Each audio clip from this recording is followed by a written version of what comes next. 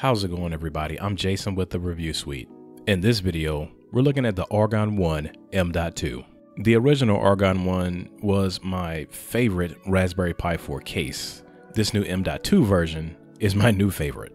The new Argon 1 M.2 looks very similar to the original Argon 1, but with a few added features.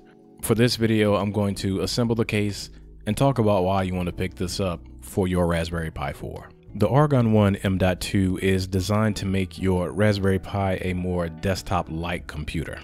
Argon 40 has done this by including a custom PCB that changes the orientation of your I.O. on the Raspberry Pi. And as the name implies, it now supports M.2 SSDs. The bottom of the case is a M.2 SATA SSD to USB 3.0 board. This board supports B key and B plus M keys ranging from 2230 to 2280 M.2s. This M.2 board will give you a lot of options as far as turning your Raspberry Pi 4 into a dedicated desktop computer or a entertainment device. The Argon 1 M.2 also comes with a video slash audio PCB extender. This PCB reorients your video and audio to the back of the case. It also converts your micro HDMI to two full HDMI ports. The I.O. PCB is one of the standout features of all Argon 1 cases. Along with the custom PCB, the Argon 1 supports active and passive cooling. The top of the case is made of all aluminum, and on the inside you'll find a programmable 30mm fan. And right behind the fan, you have color-coded GPIO pins. Assembling this case is pretty easy. The first thing you want to do is connect the custom PCB to your Raspberry Pi. Next, you want to apply the silicone thermal pads to the contact points on the top of the case. Next, you want to connect the Raspberry Pi to the cooling board inside of the case.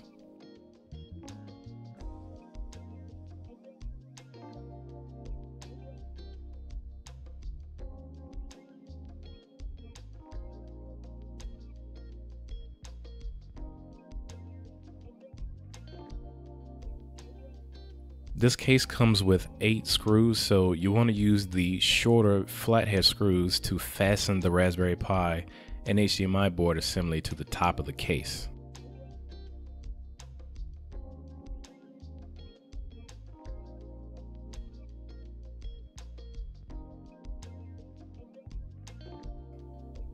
Now before you attach the bottom, you of course have to install your M.2 drive and insert your SD card. Once the bottom is attached, you will not have access to your SD card slot.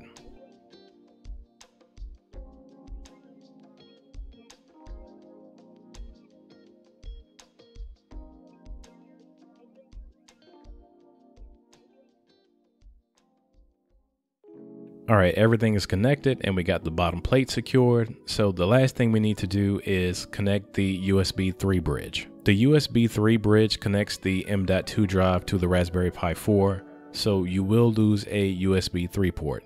But of course you can connect a USB 3 hub for more USB ports. Looking at this case fully assembled, I gotta tell you, it just looks awesome. I love the fact that you have two full-size HDMI ports now and the layout just looks super clean. So let's get this booted up into Raspberry Pi OS and I'll show you how to install the fan script. The fan script for the Argon 1 M.2 is the same script used in the original Argon 1. So you want to open up terminal and you want to enter the script that's on screen now. All of the scripts for this case will be in the description box. After the script is installed, you'll want to reboot the system.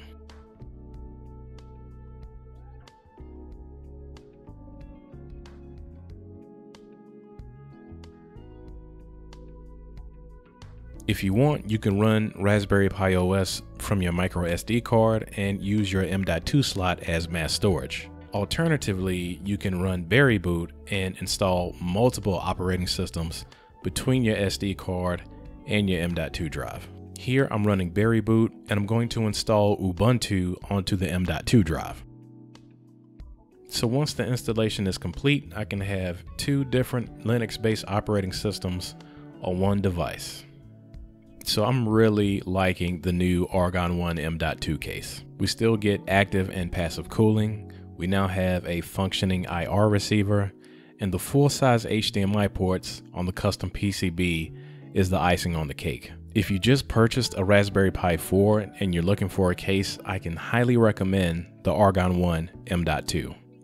At $45, I think it's fairly priced and you won't have to spend additional money on micro HDMI to full-size HDMI cables. If you have the original Argon 1 case, you're in luck because you can purchase the M.2 board separately. The M.2 board retails for 21 US dollars and it has everything you need to get started with booting from your M.2 drive. But that's going to do it for this video. Big thanks to Argon 40 for sending us this case to review. We greatly appreciate it. If you found this video helpful or informative, please let me know by hitting that like button. And if you want to see more Raspberry Pi 4 content, subscribe to the Review Suite. I'm Jason, and I'll talk to you guys on the next one.